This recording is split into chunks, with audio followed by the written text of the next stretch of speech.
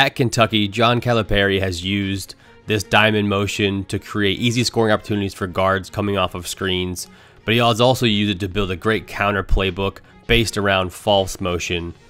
In this breakdown, we're going to look at what false motion is, which is basically dummy motion before a set, why teams would use this false motion, is it beneficial, and we're going to look at specifically this year and for the 2019-20 season, how Kentucky started to set teams up to run great counters and add to his playbook. My name is Coach Gibson Pyper. You can follow me on Twitter at Half Court Hoops, especially now because I'm putting out a lot of past NCAA tournament sets looking back at the last 15 years since there's no actual live games. So check me out on there. False motion is just basically any sort of actions or setups that you want to run before your actual initial play or initial set is run. So Purdue does a good job in their Weave series, hiding what they're actually trying to do for easy scores. NC Central, LeVelle Moton's one of my favorite coaches to watch. He runs little Weave action before the actual play takes place. And what this is basically doing is getting the defense to guard some basic action before what you actually really want to run. So it gets an easy way to free up, you know, your quick hitting counters. It doesn't allow them to see what you're setting up in, so you're not just setting up in a play. Uh, Princeton teams will like to run some false motion or just some dummy motion, maybe burn out, you know, 15 seconds of the shot clock. In high school, teams don't have a shot clock, so they would just run some basic action before the actual play that you want to run, sort of setting up the team to kind of lull them to sleep or draw them into maybe trying to guard a couple actions before what you actually want to run. Kentucky utilizes this in their diamond. Here you can see the play call sort of like a loop motion, two fingers up in a loop. Uh, and then what they set up is they set up this diamond action, which is just two bigs and two guards in a diamond formation. Their whole goal of this play is to free up a shooter in this scenario, it's Immanuel Quickley. Kentucky will choose and pick different players to run this action for. They run it for Maxey, they've been running for Hagans, just so they can disguise what they're actually trying to do. The whole goal is to get a player coming off a screen. Typically, it's going to be the player that catches the ball on the wing after the first reversal is who they're going to look to get coming off of these screens. So here you can see Quickley is going to come off this little back screen, run across, read his defender goes over the top, and then come back the opposite direction and gets a wide open look from three. Essentially, the two bigs' main responsibility is just to screen for that player coming off of the screens low. The other two players, when the ball passes to the wing, will exchange or screen down in the middle.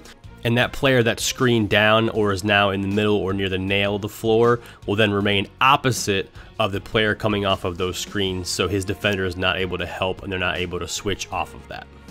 In this example, we'll see how as a player comes off the screen and the guards exchange, when Quickley runs baseline here, we're going to see the player in the middle of the nail here is going to come and clear opposite, and that allows Quickley to curl into space and catch and shoot. Kentucky will run this diamond action quite a bit in each game for different players at different times. So it's important for us to know how the basics of this diamond works. So that way we can, when we get into the details and we can show how the rest of the series is really effective based out of this one play. Now let's take a look at how Kentucky uses their diamond or this false motion to get into different sets. Here we're going to see them go into a ram ball screen. So you can see the guard here is going to screen down on the big defender. And then that creates a late hedge opportunity. Max is going to do a really good job of splitting this pick and roll and a nice avoid finish.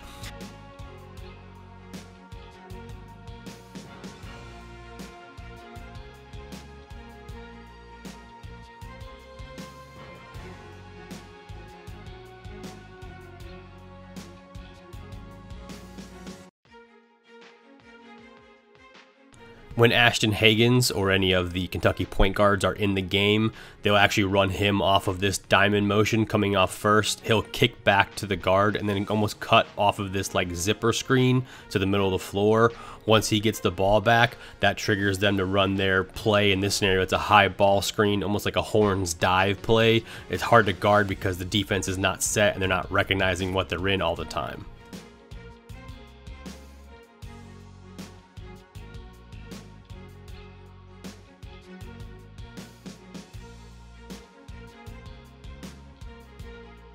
Teams in the past for Kentucky have used this action to get guards like Shai Gilgeous-Alexander involved and get them set up in a spread pick and roll.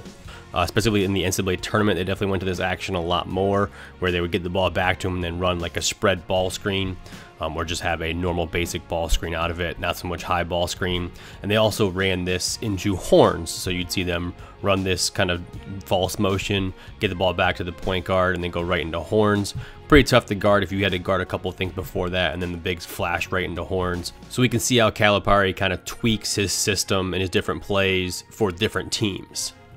Another way Kentucky disguises or uses false motion is what I just call their pitch or their weave series. They run basically five main actions off of this series, with the main one being a spread pick and roll, where essentially they just reverse the ball to a big who's lifted, they go handoff, and then pass back to the point guard, and then it goes into whatever action or set that they're running because this is common enough action in their offense, especially for spread pick and roll, they actually use this to disguise their diamond series as well. So they go handoff and back to the point guard, and then they go right into diamond. So it maybe looks like they're going to run a different action, but then it flows into what they're trying to actually run, which is their their floppy or diamond action for the shooters. I haven't seen them run the uh, pitch action into a diamond action into another set. I don't know if there's enough time for that in the shot clock, but uh, it's just another good way for them to disguise what they're actually trying to do and what they're trying to run. Now this is where Kentucky's diamond false motion really starts to take shape in the form of counters, with my favorite one being diamond rip. Rip is just a term for a back screen that I use, so I just use the formation diamond into a back screen. So we can see here the normal play being run, looks like diamond action, looks like they're gonna just run their normal you know, look to get shooters open, then all of a sudden the guard inside is going to set a cross screen or almost like a mini back screen for the big. In this case, it's Richards looking to get a quick, easy post up or a quick, easy score off of it. They uh, hurt a lot of teams running this action uh, this year, especially uh, in like quick hitting counters when they need buckets. You can see in overtime against Louisville Hill, they run to this action, got a quick, easy score off of it that helped propel them to victory. In this example, we're going to see how they use the rip action as decoy now, and this decoy action is going to be set up for a post up. So we can see this normal would be a back screen here. Richards is going to turn and spin and sit on his man. This would normally be a cross screen or a back screen where the big is going to kind of jump over top of it to be ready for it. They hit it with the reverse action and allows for a deep post ups for an easy post up opportunity. One of my favorite actions is when Kentucky runs their diamond, they will lift the big as the player on the wing catches it, allowing a baseline drive downhill. So in this scenario, we're going to see as Maxey catches it, Richards is going to step and lift out, leaving the baseline wide open for a baseline drive to drive to his strong hand, his right hand for an easy finish. They'll do this often as reads in the game and just kind of as their, their basic uh, package, but you'll see them. This will be designed in like a set play. So you can see as he catches it here, Montgomery's going to lift up automatically, creating space, creates a lot of advantages for their drivers to get downhill. If the baseline drive is not available, defense does a good job stopping that. You can see the flow is going into like a two-man game on the side, so you see dribble handoffs, you'll see ball screens, different reads out of it. They'll actually flow into a side ball screen at times as well off of this. Essentially, this is just allowing players to make plays, forcing the defense to guard baseline, then going right into a dribble handoff, little two-man game. One of my favorite actions to watch as well as run in my offense is ghost screens. I just use that term as a fake ball screen uh, where you don't even make contact with a defender. It's similar to a slip, but it's more designed for a pick and pop. What this does is creates a little bit of confusion defensively. If the big hedges or the player defending hedges, then it creates an easier pick and pop opportunity. And if they don't, then it could create a downhill driving lane. Kentucky utilizes this in their diamond action where the big or the player opposite will sprint out into like a side ball screen and fake it and allow the guard to try and turn the corner and get downhill easier.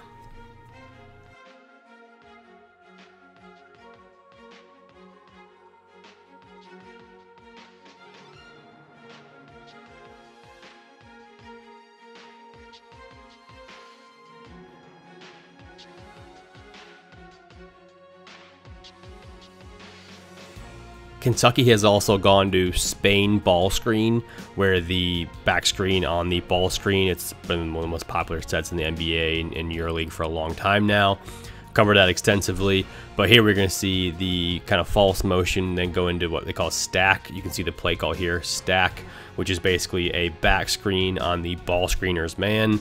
Vanderbilt doesn't do a great job uh, covering it here. We're going to see them do a good job switching guard to guard, but the big gets picked off. It's really tough action to guard, especially if you don't set it up and the defense doesn't know it's coming. This is action we've run at the high school level now. It's kind of trickled down, and it's just been really effective action for every team. It's good to see Kentucky running it. Thank you so much for watching this video, guys. I really appreciate it. Hope everybody's staying safe out there. I'm going to do some more detailed series breakdowns coming up uh, on like Louisville and Duke and, and, certain teams as I finish their playbooks at the end of the season here. If you have any questions or any follow-ups, please hit me up on Twitter at Half Halfcourt Hoops. Uh, you can follow me on there. I'll be tweeting out a lot of uh, videos and stuff with a lot of free time here now. Any suggestions you have, please let me know. Hope everybody has a great rest of the day.